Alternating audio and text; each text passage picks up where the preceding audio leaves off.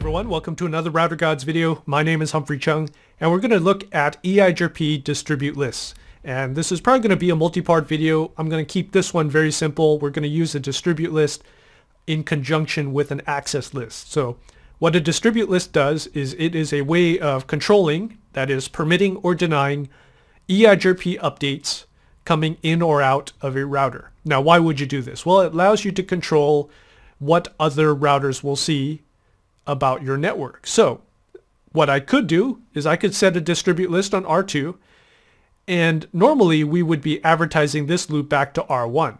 So R1 is able to ping our this loop back.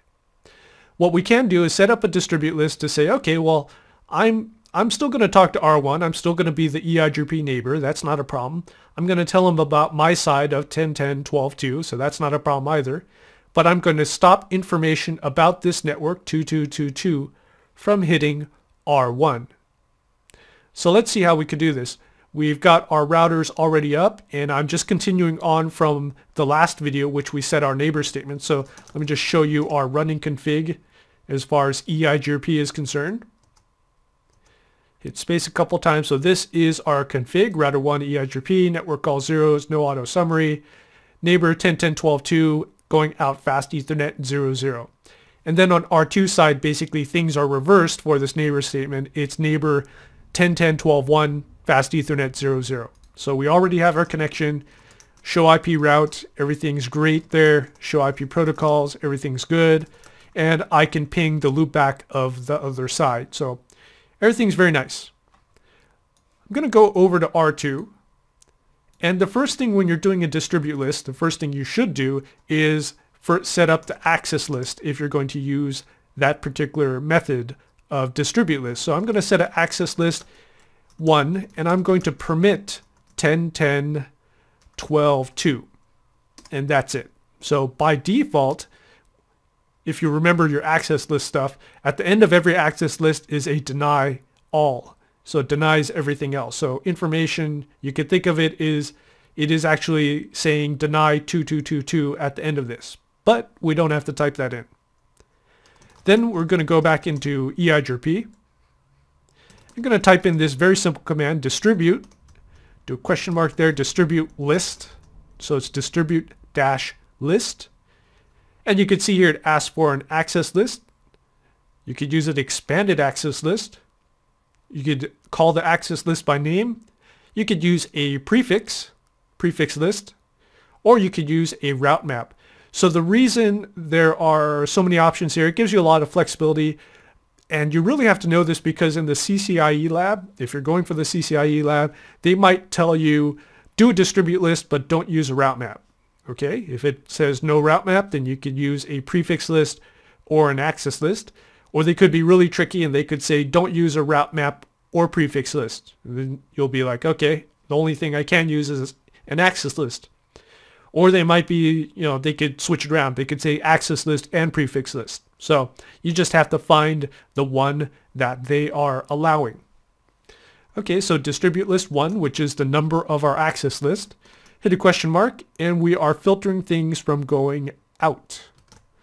Distribute list one outbound. Let's see if anything comes after that. We could do a lot more stuff, but you could see here CR, carriage return. We can hit enter right there. And after we set a distribute list in a couple seconds, you should see, actually, since we're doing a neighbor statement, nothing, oh, okay, you can see there. Our neighbor is reset. I was kind of worried there that was taking a, a while. Okay, exit out. So show IP EIGRP topology. We still see router 1, the loopback of router 1. So that's good. I can still ping it. Basically everything on my side should still be normal. Show IP protocols. This should be okay here. And let's take a look at the running config to see how that distribute list looks like space a couple times and you can see here this is our EIGRP section here router EIGRP that's normal normal normal and the only thing that's different is the distribute list one out and somewhere here is our access list access list 1 permit 10.10.12.2, so that's good. Let's see if anything is different on router 1. Go over to router 1 and let's see show IP route. Let's start off with that. And you can see here our route to the loopback of router 2, the 222 address, 2222 address is gone. Obviously we cannot ping it. And so that's that's pretty cool. Let's show IP EIGRP neighbor. And we still have our neighbor. We could still ping the other side. So that's good. And if we do a show IP EIGRP, EIGRP topology, you can see that we know about ourselves, our own loopback. We know about the link, but that's about it, which is pretty nice. Let's see, show IP, EIGRP topology. Let's do all links. See if that gives us any different. Nope. Everything looks the same there. So we are getting updates from R2 and just to prove that to you, and so you might be thinking, oh, maybe that access list, maybe that distribute list is not just blocking all twos, maybe it's blocking everything. Well, you can quickly verify that by doing a debug IP packet and we'll let that run for about uh, 5 to 10 seconds and then we'll stop it. There we go, we'll stop it. And you can see here we still are getting updates from router 2. So 10.10.12.2 going to 10.10.12.1, which is us. So EIGRP is still running. We still have a neighbor relationship. Everything works well, except that we cannot get to the all twos address because we're not getting the update. Now that distribute list doesn't stop all traffic, all it does is stop the routing update. If I wanted to get to the loopback, but let's say the lab exam says I can't do any EIGRP changes to, you know, to accomplish that, I could simply enter in a default route if the lab allowed it. So let me show you what I mean here. We do a conft. Let's do IP route 0000, all zeros, and we're going to go put a next hop of 10, 10, 12, 2. And we'll just hit enter right there. Sure, I'll show IP route. So now we have a default route heading towards R2. And now if I ping the all twos address, I am golden, right? So that distribute list, it's just for EIGRP updates. If you have a static route going out there, you'll still hit that loopback. Maybe you've got an OSPF uh, routing protocol, that might, might work. If you're using RIP, that also might work. So just be a little careful there.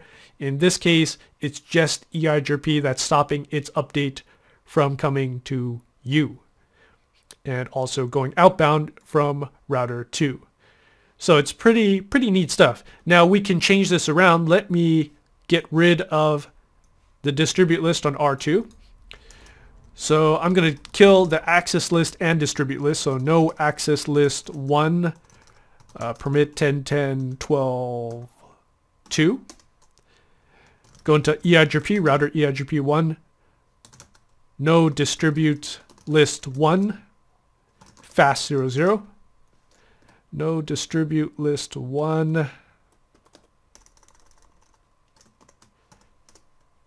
Out fast 00, 0 or no distribute list 1 out.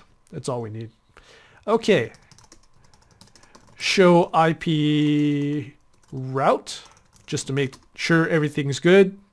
So everything's good. We've got a, a connection to router 1. Everything's synced up. And let me show run just to make sure that my config is clean. And router EIGRP Okay, everything looks good there. And no access list. Okay, so let's change things up. Before we did distribute list 1 out, let's see if we can block stuff from coming in. Okay, so you're on R2 and you want to block the update of this loopback coming inbound. So R1 still thinks everything's normal. It still sends it out. Life is good. But you are going to refuse to accept it on R2. Well, it's very easy you know, we'll go back to R2. We're going to make an access list to block the all ones address. So this is dirt simple. It's access list one deny 1111. Actually, there's a couple ways to do this. Let's just, let's do it opposite. Let's permit 10, 10, 12, 1. And then it's just going to deny all ones after that. Now we're going to go into router EIGRP. And we're going to do distribute list 1 in. So that's going to allow fast00 from R1 to come in, but it's going to deny the update for loopback 0. So we'll fire that up, exit, exit. Wait a couple seconds for the routers to sync up. And it's syncing up. Hopefully, there we go. And then if we show IP route, you can see here our loopback for R1 has disappeared, which is pretty nice. Yet, if I do a show IP EIGRP topology, everything's still okay there except for the all ones address. If I show IP EIGRP neighbor, we still have a neighbor at R1. So it accomplishes sort of the same thing from R2's perspective.